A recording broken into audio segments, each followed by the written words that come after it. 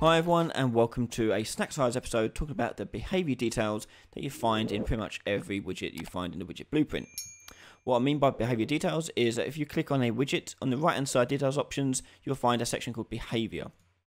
This section is pretty much common across all widgets that you have in your palette so it might be a good idea to understand what each one of the options do does. The first one we have is tooltip text. So on the green box here I've typed in this is the green box. And what that means is that if I play the game and hover over it, you see a tooltip arrive saying this is the green box. Now you can't change anything aesthetically about it, it just changes the text, so it doesn't make it great for actual making games in, but great for debugging. Next option is enabled. This basically turns off or on the interactivity of that widget. So if you just want to be visible but not active, that comes in really handy. So for example, my blue one here has an option where if I click on it, it changes color like so. And if I go over to my enabled box and untick it, that functionality will no longer work. Now you see the gun is firing instead. That's because my hit test for my mouse is going through the widget because it's being ignored and going straight through the, to the game, making my gun shoot. You also notice that when it's disabled, it makes it do does this grey out effect. You can turn that off or on and customize your disabled look as much as you like. To turn it off, go up to where it says appearance and expand up in show advanced and untick this show effect when disabled. So now with it disabled, you should see it looks the same as it always does. Next we have visibility. Visibility changes the options of how visible uh, a widget is. There are five different options. Visible means that it is visible and you can see it and you can also hit test it. So you click on it and it does something or registers it. If it registers a hit, that means anything beneath that will won't receive the hit. You can only receive the hit once. Next, you've got collapsed. That means it is not visible and the space it occupies is also gone. So, for example, if I go to this red one here and change it from visibility to collapsed and then play the game, you'll see that the green and blue now fill that, that occupied space. Whereas if I change it to hidden, it makes it invisible, but that space is stored there, saving it for it.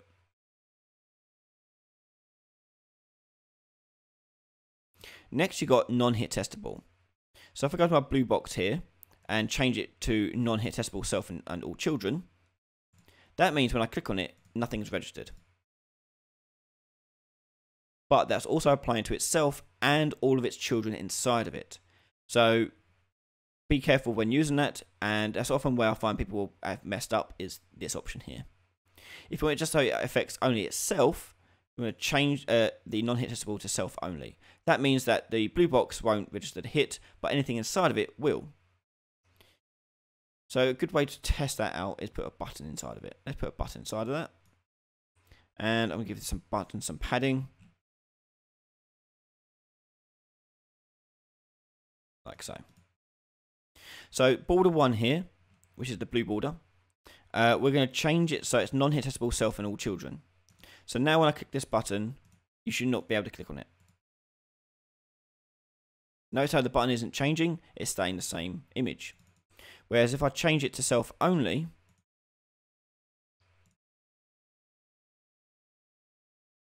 the blue box will no longer change, but the button you can see here is taken hit instead. Okay. Next we have is render opacity. This basically changes how see-through the option is. So if I type in 0.5, it makes it semi-see-through. Pretty basic. 0, nothing, 1, full, 0.5, half and half. In the advanced options, so you get that by opening and closing this arrow here. In advanced options, this is where you can set up your own tooltip widget. Now I'm going to do a whole video and talk about how you can customize your tooltip in uh, a great length and talk about how it works. But I've set up my tooltip widget already here. And I'm going to set it up so it receives text from here too. So I'm going to bind this to get tooltip widget, which is a function I've already made. And again, I'll talk through this in a lot more detail in a separate video. So now you can have a custom tooltip, and that's where you do tooltips properly. There you go. So rather than having this little box, you can customize it to look however you want, like so. And finally, we can change the cursor that we see on it too. If you tick this, you can change this to any text, uh, any to any cursor you like. So here we can change this to the crosshairs, for example. So when I hover over it, the mouse cursor will change to crosshairs. Now you can also change the uh, the cursor to any image you like as well, but we'll do that in a separate video to showcase how to do that. But there are all the options you have in the behavior section. And that concludes our video. So thank you very much for watching. If you want to watch more episodes like this, talking about more widget stuff, head over to patreon.com forward slash Ryan Laley, where you find that next episodes as well as many, many others. There's exclusive content there too, such as exclusive behind the scenes, sneak peeks and previews of upcoming content, access to Discord only rooms and servers, as well as many other benefits at different tiers. Thank you to all my patrons for their continued support. None of this would be possible without you guys, so thank you once again. If you haven't yet subscribed to the channel, make sure you hit that subscribe button and don't forget to like this video. Thank you all for watching and I'll see you all next time. Bye bye.